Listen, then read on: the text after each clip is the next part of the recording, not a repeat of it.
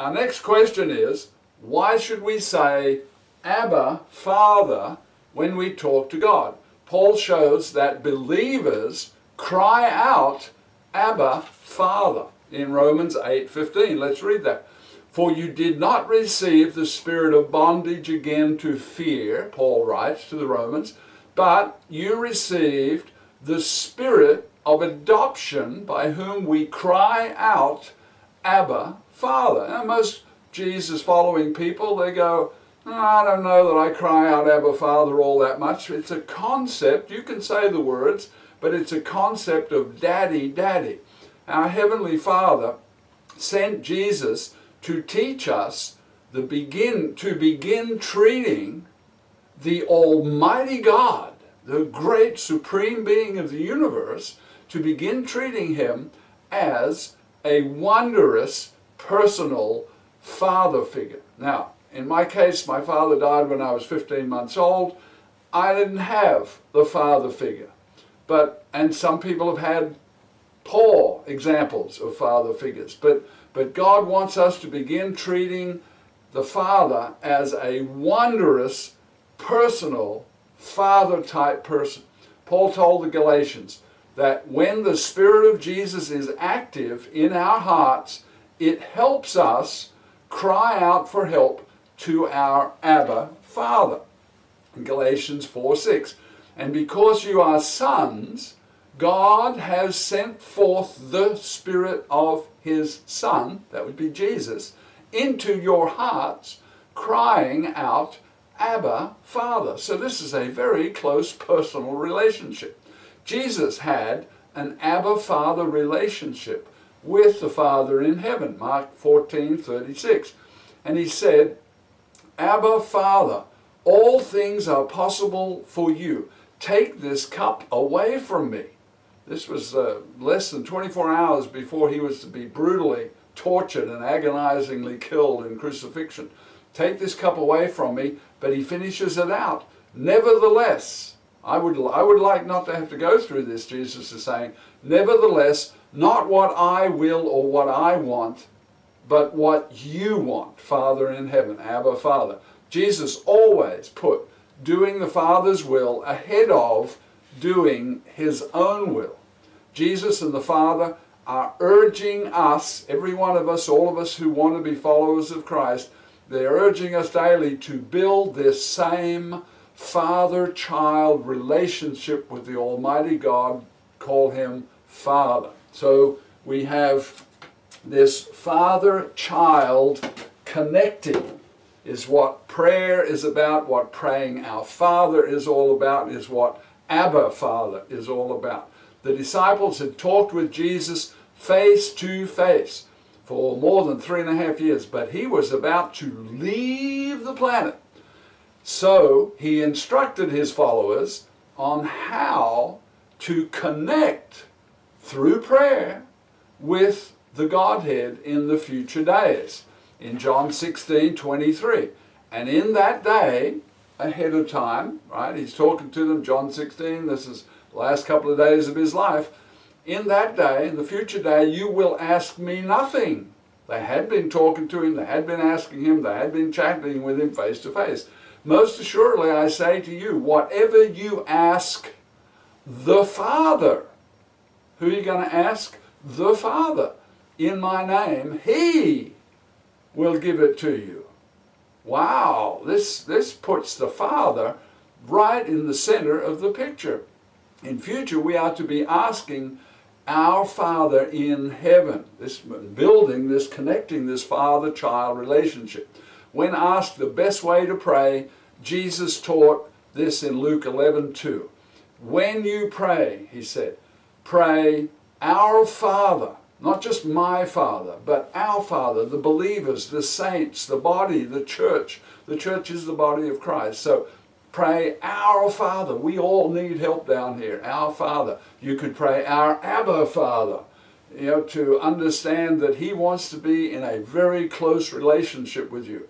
Our Father in heaven, hallowed be thy name. I honor you, I glorify you, I praise you, I adore you. You are my loving, wonderful Father. Hallowed be your name. Your kingdom, Father, come. Now, Jesus is the king of the Father's kingdom, but you're praying, Father, we want your kingdom to come. It's in heaven, we want it to come to earth. Your will be done on earth as it is in heaven. What is that saying? That's saying, Father, I want your will to be done in my life.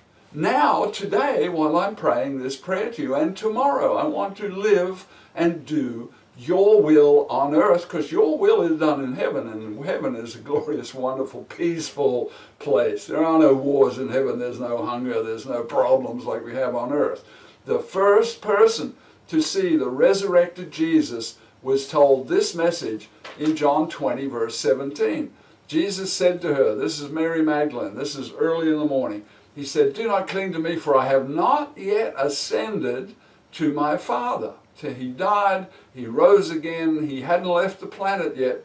He said, Go to my brethren, go to Peter and James and John and the others, and tell them this message, and say to them, I, Jesus, am ascending to, I have to read this part slow, my Father and your Father.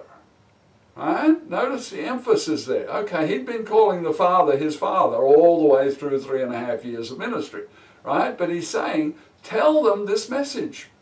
I'm ascending to my Father and your Father. Or what's that add up to? Our Father.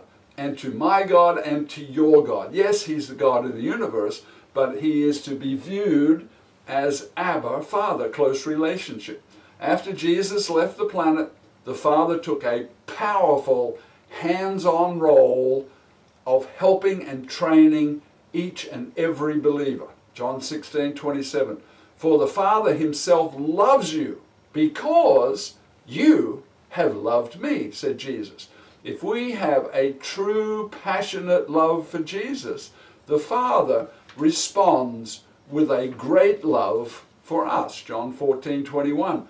He who has my commandments, says Jesus, and keeps them, you know what they are and you do them, it is he who loves me, and he who loves me will be loved of my Father. Also in John 14, 23, if anyone loves me, he will keep my word, and my Father will love him, and we will come and make our home or our dwelling place or our abode, or we will be within you, connecting and working with you day by day. Verse 24 He who does not love me, says Jesus, does not keep my words, doesn't pay attention to words, doesn't follow the words, doesn't agree with the words, right? And the word which you hear is not my word anyhow. It's the Father's word. So when you hear Jesus saying something, remind yourself that's what the Father told Jesus to tell us.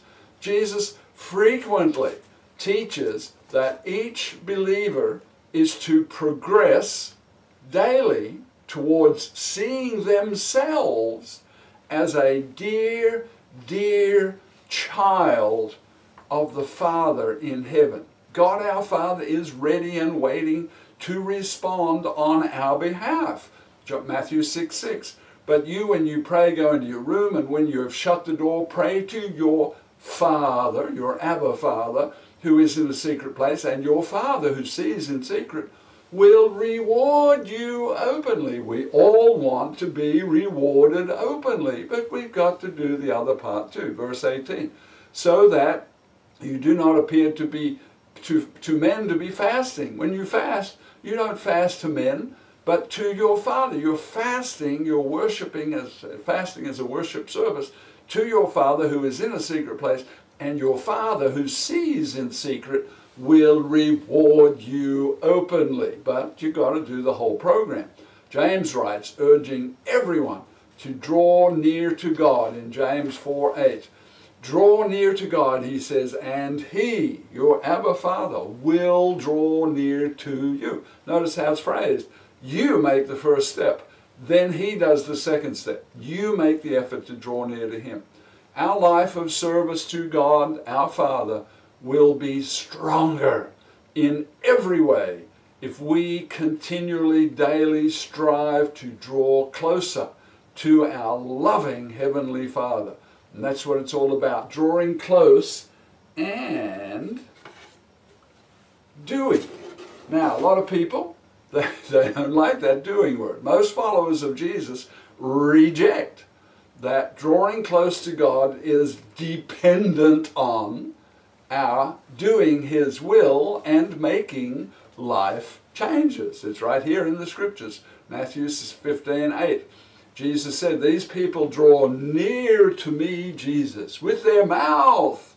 They say it, they sing it, and they honor me with their lips. Jesus, Jesus, Jesus. Rest of the verse, but their heart is far away from me, and in vain they worship me, teaching as doctrines the commandments of men. You've got to have the right messages. You've got to have the message the Father gave to Jesus, Jesus gave to his disciples. His disciples wrote it in Scripture. If you don't have the message of Jesus straight off the pages of your Bible, you're in danger of believing doctrines that are the commandments of men. Looking again at James, James 4 8. Draw near to God and he will draw near to you. That's only a part of the verse. The rest of the verse is cleanse your hands, you sinners. Clean up your act and purify your hearts. You double minded. Are you totally committed to God or you half committed to God and half committed to living a good life? Verse 9 Lament and mourn and weep. Let your laughter be turned to mourning and your joy to gloom. Whoa, this doesn't sound like fun. Just for a period of time of fasting to your Father. Verse 10 Humble yourself in the sight of the Lord, and He will lift you up or reward you openly. Hebrews chapter 10 reinforces this idea. 10:21 And having a high priest over the house of God, let us draw near to Abba Father with a true heart based on the true teachings of God the Father, in full assurance of faith, having our hearts sprinkled from an evil conscience and our bodies washed with pure water. Our loving Heavenly Father wants to powerfully help His well behaved children doing the will of the Father. Hebrews 4:16 Let us therefore come boldly to the throne of grace, the throne in heaven, that we may obtain mercy and find grace to help in time of need. And don't we all have that problem? Aren't we all needy in some aspect, in some way, day by day, week by week? If we see the Almighty God as our personal, loving Abba Father, we are much more likely to desire to please Him and therefore reduce the sin in our lives. Colossians 1.10, Paul writes, that you may walk worthy of the Lord, fully pleasing Him, fully pleasing the Lord, being fruitful in every good work and increasing in knowledge, the knowledge of God, knowledge that He is your Abba Father. You need to see Him in that light. Hebrews 13 21.